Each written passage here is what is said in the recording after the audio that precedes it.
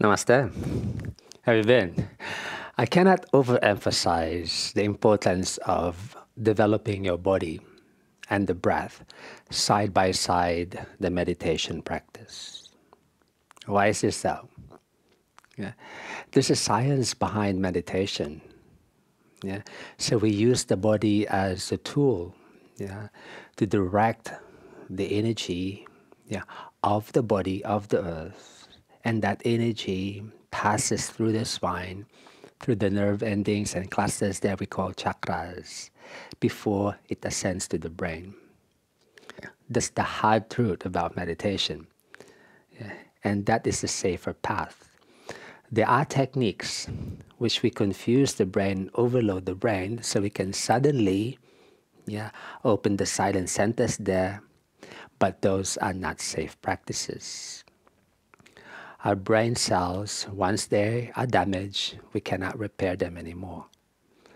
So a safe practice is for us yeah, to open the pathways yeah, so that we can use those lower centers to filter the energy. So when we lift that energy up to the brain, it's just enough yeah, to lead or result in light activation of the silent centers there.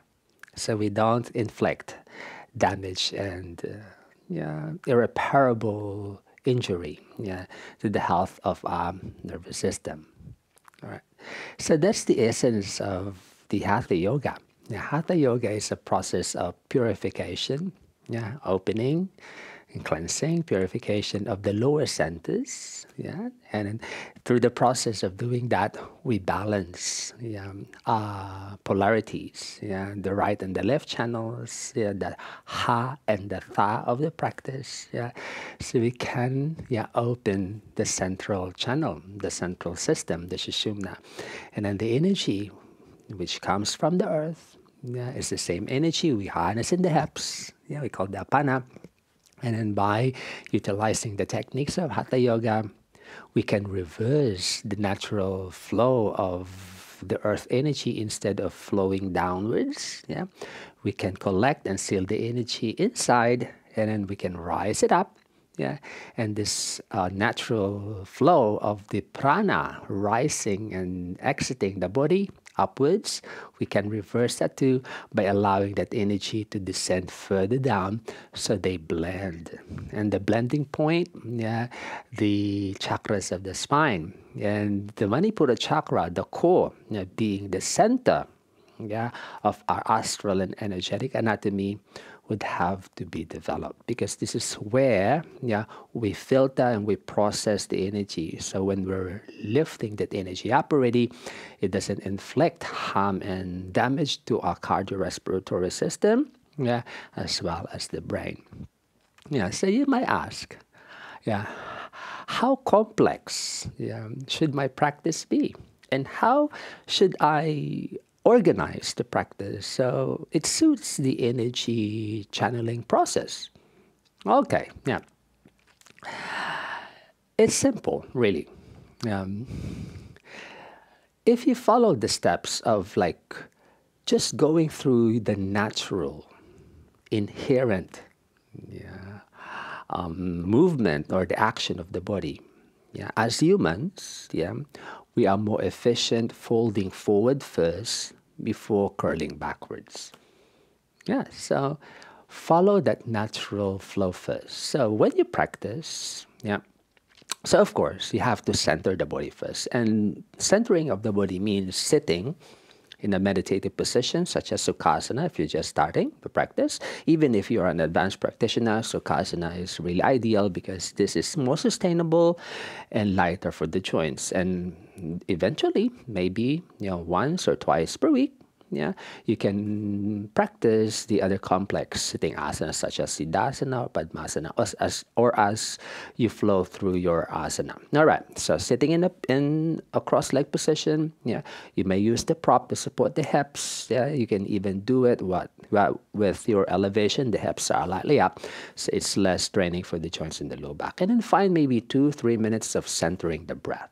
It's important yeah, to bring our practice into the present moment. And there's no uh, other techniques that I can yeah, recommend to you yeah, than the breath. So just feeling the breath as it is, inhaling and exhaling, all right, with your eyes closed. And then just really try your best to um, become one pointed.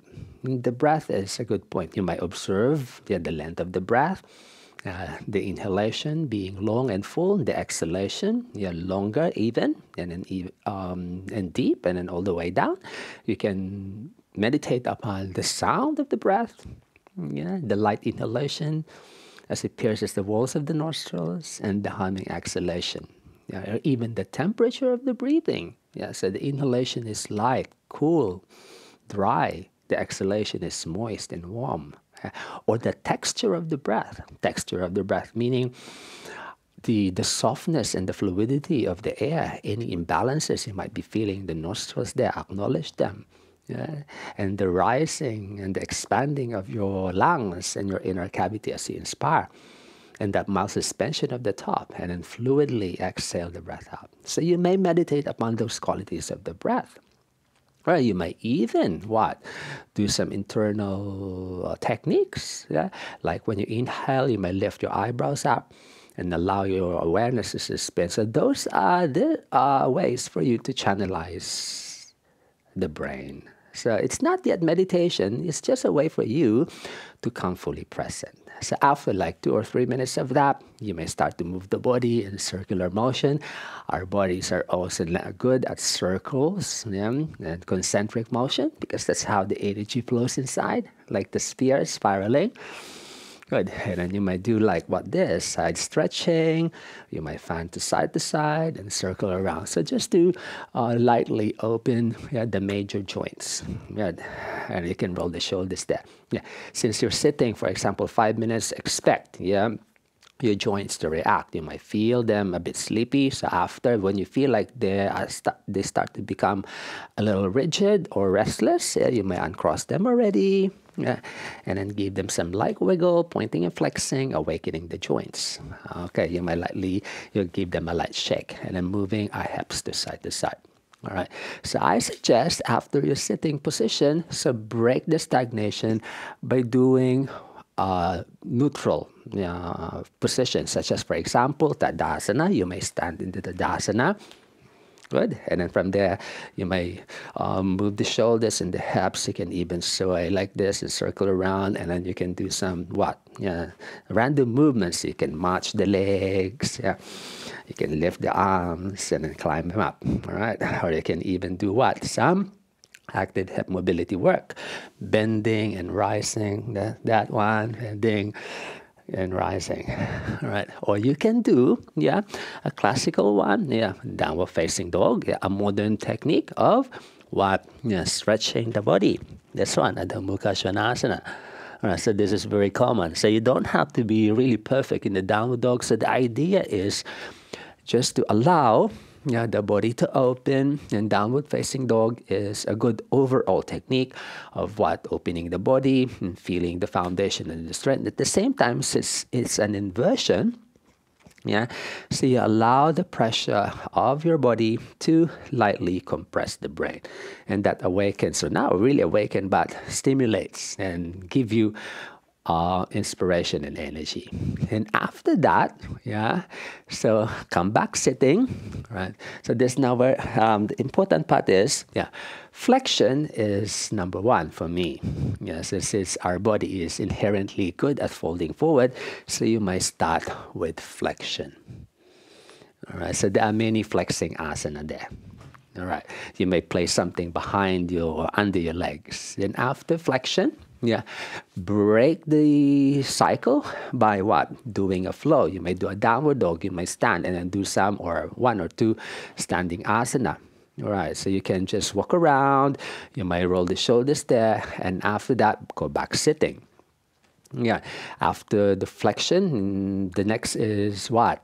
Know, we're also good at twisting, uh, and there are many twisting asana. For me, the Ardha Matsyendrasana is very good yeah, in activating the core and in cleansing the uh, pathways there. At the same time, allowing the breath, the pressure of the breath, yeah, to lightly stimulate the Manipura chakra and the bottom chakras there. Right, so of course, after one side, so you might do some releasing and then maybe a pendulum like this, or you can shake the legs in front, or you may do another forward bend before you turn and twist the other way.